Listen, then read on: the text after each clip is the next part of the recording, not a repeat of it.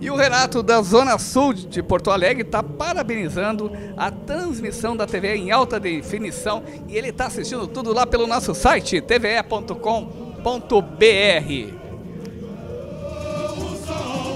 É o Kikito premiando no cinema, se na arte, se quer ver mais, é no Palácio dos Festivais. Esse raiou, esse raiou o sol, é o Kikito premiando no cinema, se na arte, se quer ver mais, é no Palácio dos Festivais.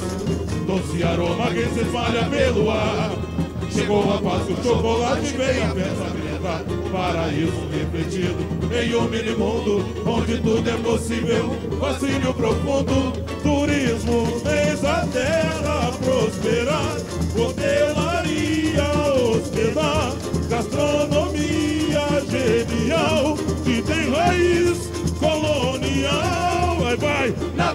chegou, que festa!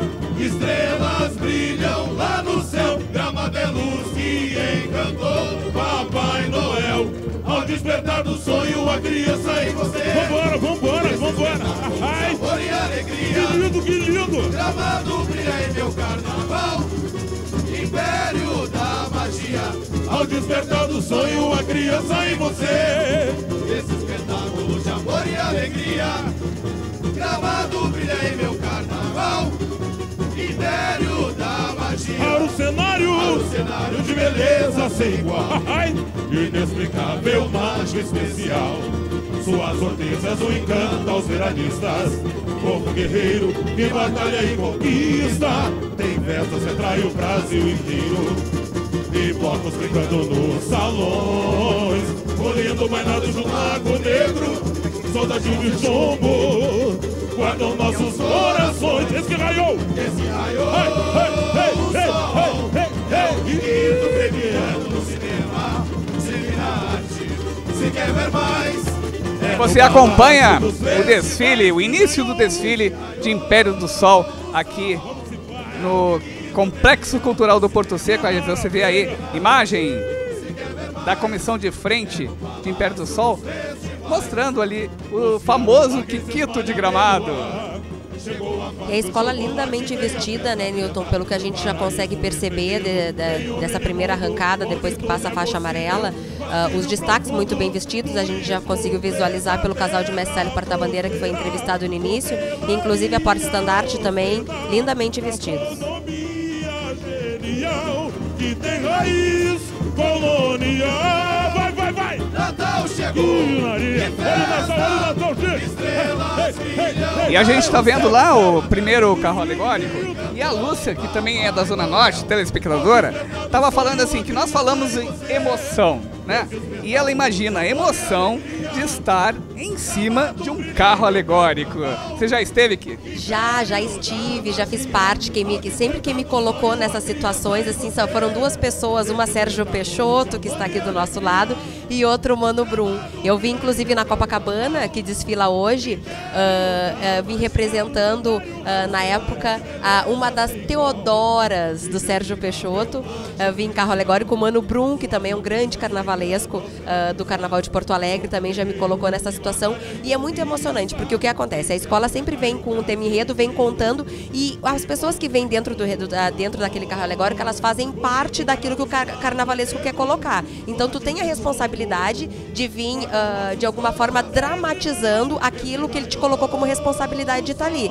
Porque a pessoa que está avaliando, ela também está verificando qual a representação daquelas pessoas dentro do carro. Então, o Sérgio também pode falar muito bem disso, que quando ele veio falando sobre as Teodoras na Copacabana, as Teodoras vinham sendo faladas desde a comissão de frente até o último carro. Então, todos os carros alegóricos da escola tinham uma representante de Teodora, desde as mais novas até as mais velhas. É certo, isso, né, Sérgio? É, são devaneios que os carnavalescos têm, são sonhos. Na realidade, a gente vive disso, né? E o carnaval é transportar. A gente dorme, acorda, toma café da manhã, idealizando, pensando a proposta que a gente vai fazer. E essa proposta né, que o Império do Sol está trazendo é uma proposta interessante, não é? Porque deu para perceber e ler aqui na sinopse do enredo que é um menino que conta um enredo, é um sonho que ele tem. Ele conversa com a mãe dele, dizendo a paixão e adoração que ele tem uh, por Gramado. E a partir daí ele sonha, ele dorme e começa a sonhar tal. E a gente vê isso na comissão de frente. Ali está o sonho do menino. Ali está a questão dos quiquitos, da sua importância, mas à medida que o desfile começar a ocorrer, as pessoas vão poder perceber isso, que é um sonho do menino, esse sonho acalantado, ah, de conhecer, de estar presente nessa história de Gramado.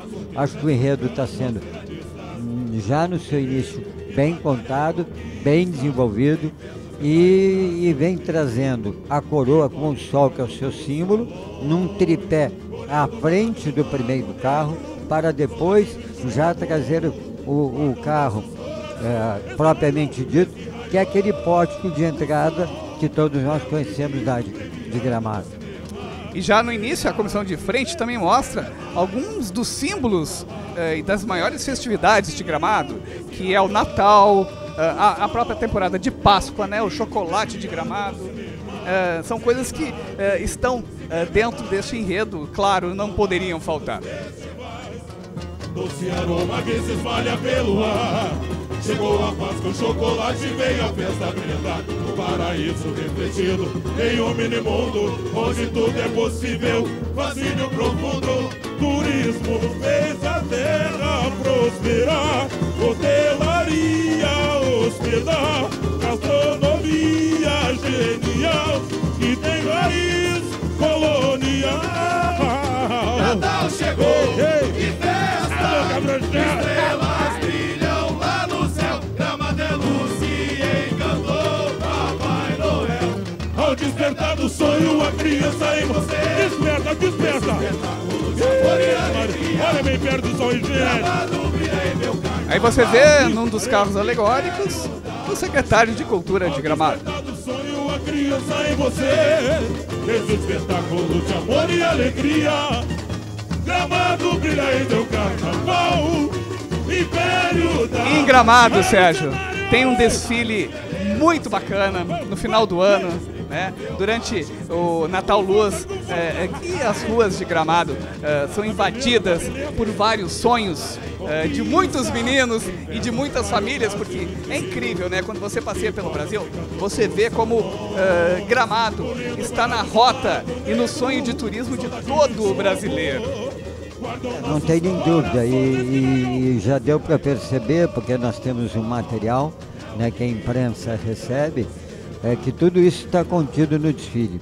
E aqui nas alegorias, os carros que virão um número de quatro no desfile do Império do Sol, o último carro vem falando do Natal Luz, que é esse é, grande evento, a Estatânia, entendeu? A esposa do Miro, ela que é uma das comandantes da escola, ama, dorme, respira, vive essa escola, não é? Tanto a Tânia quanto o Miro, a Jéssica, que é a primeira porta-bandeira, filha deles, e dá para ver no início, já no início do desfile, o enredo está sendo contado, o enredo está sendo mostrado, até porque o caderno que os jurados recebem, na sinopse do enredo, se percebe que existem palavras grifadas, que é aquilo que o carnavalesco, que a diretoria da escola pretende mostrar na avenida. Até porque contar num desfile de 50, 60 minutos, com 13, 15 alas, toda uma história de gramado é muito complicado. Tem que fazer um recorte, né? Sim, mas na realidade o Império do Sol não pretende com esse enredo contar a história de gramado. Ele está neste sonho de menino, contando e mostrando os principais momentos, ah, ah, os pontos aqui, as festas, a gastronomia, a hotelaria e principalmente esta questão da, da, da época da Páscoa, da época do Natal, desses grandes eventos que, Natal, eh, que Gramado tem durante o ano. Então, seu Leopoldo está invadindo a avenida aqui no Complexo Cultural do Porto Seco, representando a região metropolitana de Porto Alegre. No grupo intermediário A, ele é uma das escolas eh, que disputa o título para voltar, né? Para, quem sabe, voltar ao grupo especial do Carnaval de Porto Alegre e região metropolitana.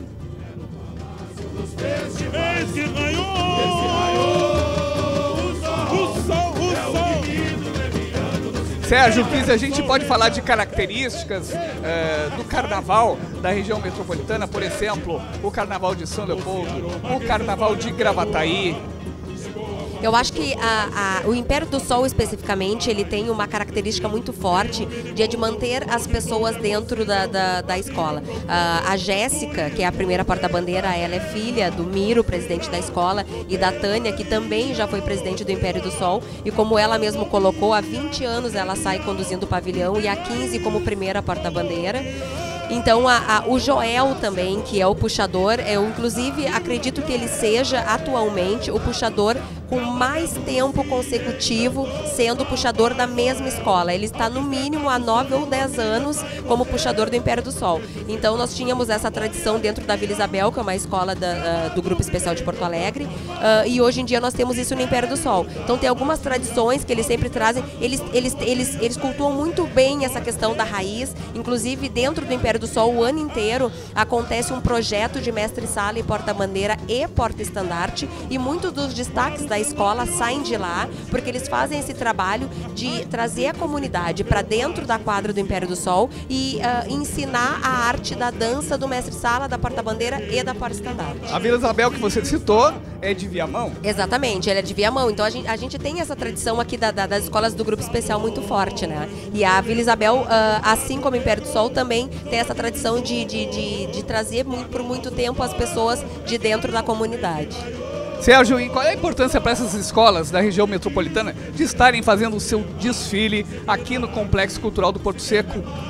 Ah, não tem nem dúvida, porque isso, com, com todo o respeito que merece, uma coisa é a gente jo- jogar futebol num campinho de bairro, numa praça, não é? E outra coisa é jogar no Maracanã lotado, não é?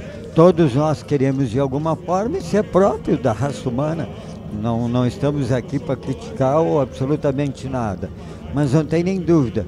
ah, ganhar o título na sua cidade, não vamos dizer no caso de São Leopoldo, que tem um carnaval aguerrido, brigado, entendeu? Tem Império do Sol, tem a própria Imperatriz que teve problema aqui, mas que virá muito forte no desfile da sua cidade.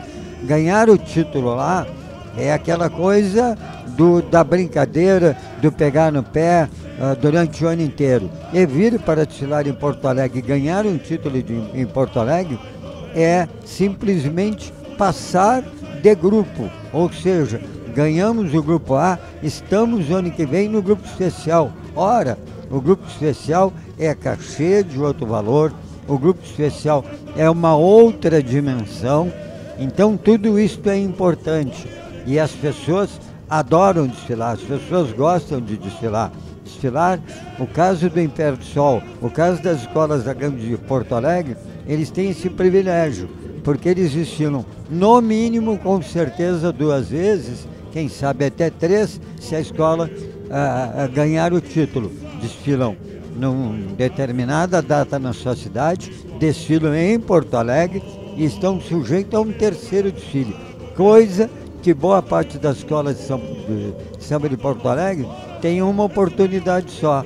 Está aí o caso, classificam, não é para a Noite das Campeãs, é cinco, seis escolas e as outras, os outros componentes acabam desfilando uma noite só. Não é o caso do Império do Sol, é fundamental, até porque o Império do Sol tem um trabalho, como aqui se falou, durante um ano inteiro. Se você chegar na quadra do Império do Sol, durante o ano inteiro a quadra está aberta, estão trabalhando, isto é muito importante, porque a partir de abrires a tua quadra, ter um trabalho o ano inteiro, você começa a trazer a sua comunidade. E trazer a comunidade é trazer a pessoa mais velha, é trazer a criança, é trazer o homem, é trazer famílias inteiras para dentro da escola. Vamos ouvir o samba então de Império do Sol? Natal chegou e